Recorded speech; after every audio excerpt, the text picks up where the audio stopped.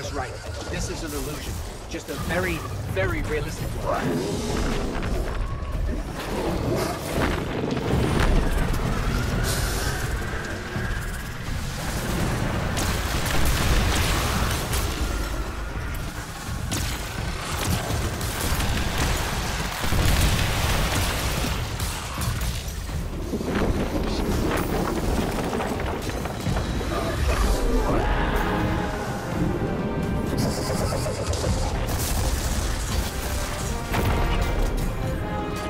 Magic powering that illusion is limited.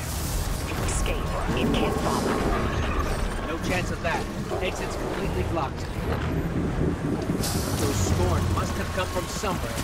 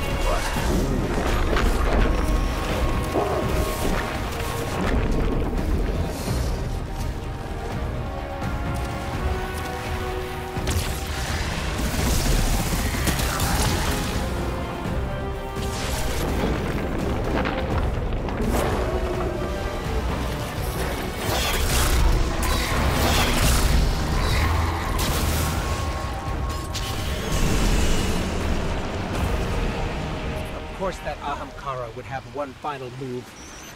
We gotta find a way out, fast. Ikora, Fynch, any suggestions?